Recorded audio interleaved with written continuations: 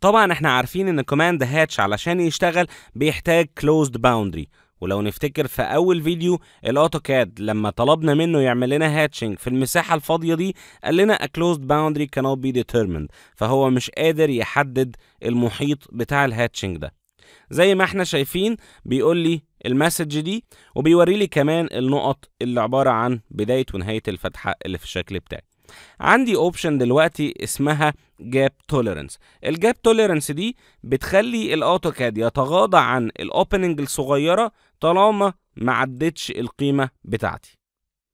يعني دلوقتي أنا لو خليتها 0.9 وقلت له enter وجيت أعمل hatching برضو الأوتوكاد مش هيرضى وده لأن مقاس ال opening بتاعتي هي واحد unit لو غيرتها دلوقتي وخليتها واحد و enter وجيت أعمل hatch بعد كده هلاقي الأوتوكاد طلع لي message مختلفة.